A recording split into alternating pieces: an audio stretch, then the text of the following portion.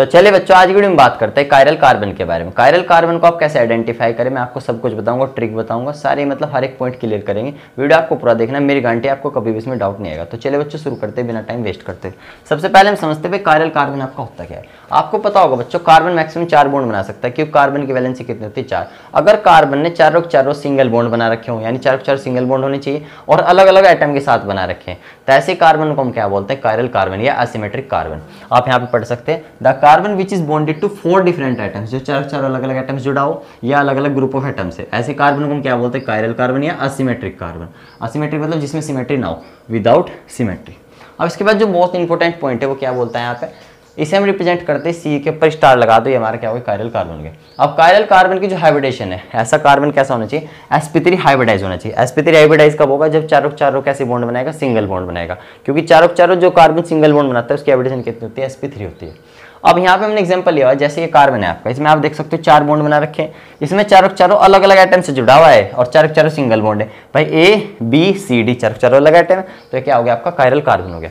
अब ये शेप आपकी टाइट्राइड शेप इसमें जो लाइन ये दिखाती है वेज लाइन वेज लाइन क्या दिखाती है? बॉन्ड आपकी तरफ़ आ रहा है। डैश लाइन क्या दिखा रही? बॉन्ड अंदर की तरफ़ जा रहा है। और ये दोनों दोनों लाइन क्या दिखा रही? बॉन्ड कहाँ पे? प्लेन के ऊपर है, बोर्ड के ऊपर मान सकते हो तो आपकी टाइटल शेप होगी। अच्छा इसकी जो खास बात है, सबसे भारी चीज़ जो बच्चों को लगती है, वो आपका क्लियर होगा डाउट यहाँ से। अभी आपको थोड़ी देर ध्यान समझना है। अगर आप बीच में मिरर मान लो अच्छा जिस मॉलिक्यूल के अंदर कायरल कार्बन होगा, ऐसे मॉलिक्यूल को हम क्या बोलेंगे कायरल मॉलिक्यूल बोल सकते हैं, जिसमें सिमेट्री ना हो। अगर आप इसकी इमेज देखोगे, आपको पता है मिरर में क्या होता है? लेटरल इन्वर्जन यानी राइट लेफ़्ट हो जाता है और लेफ़्ट राइट हो जाता है।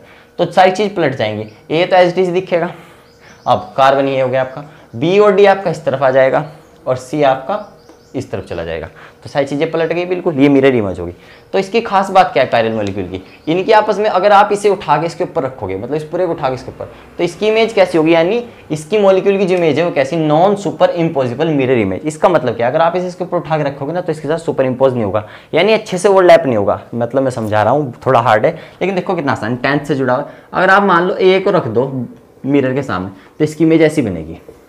अब इसे आप इसके ऊपर अगर उठा के रखो तो आराम से आ जाएगा इसके ऊपर सुपर इम्पोज हो जाएगा।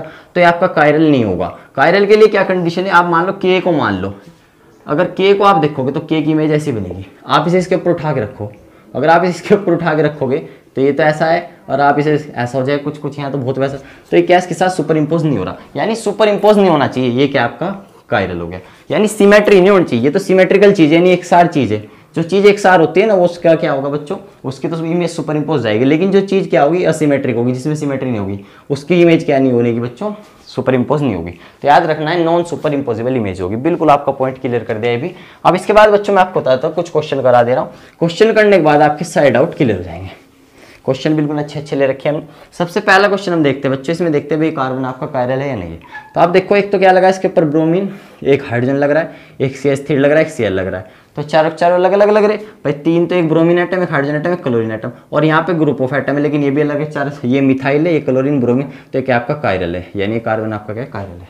इसके बाद इसमें देखते हैं इसमें कायरल कार्बन कौन कौन से। अगर आप इसे देखोगे, इस पर तीन हाइड्रोजन अटैच है तो ये तो खत्म हो गया। भाई जब तीन हाइड्रोजन अटैच है, तीन एक जैसे आगे तो ये तो कायरल नहीं है आपका। और ऐसे ये भी नहीं होगा। अब इस वाले को देखो सी के साथ दो एच आ गए तो यानी दो सेम आ चुके हैं, ये भी नहीं है। इस वाले को देखते हैं, इसे देखने के लिए आप यहाँ पे ऐसा करो कार्बन लिखा। इसके साथ क्या अटैच है? एक हाइड्रोजन अटैच है, एक क्या अटैच है बच्चों? ब्रोमीन अटैच है। एक ब्रोमीन अटैच हो गया। अच्छा एच आ गया। और यहाँ पे आप एच को ऐसे लिख सकते हो, नीचे वाली तरफ़ लिख लो एच को, और एक अटैच क्या है? सी एच थ्री अटैच है।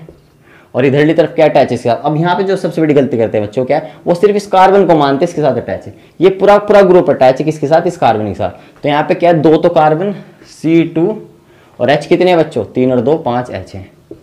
इथाइलेन तो ये भी कायरल है आपका, देख लो, एक मिथाइल हो गया, एक इथाइल हो गया ब्रोमिन हाइड्रोजन तो ये भी क्या आपका? कायरल कौन सा कार्बन है? सिर्फ़ यहाँ पे कायरल एक ही है सिर्फ़।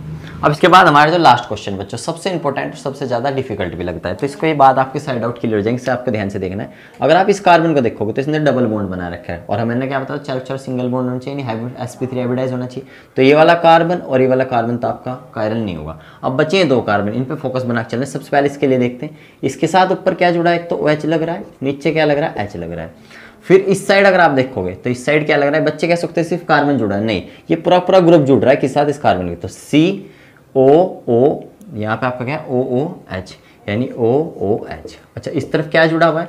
दो कार्बन, ये पूरा पूरा ग्रुप जुड़ा हुआ है। एक, दो दो कार्बन।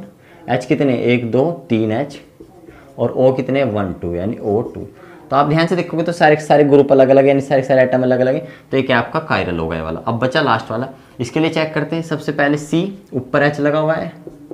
यहाँ पे ऊपर एच हो गया, नीचे ओ एच हो गया।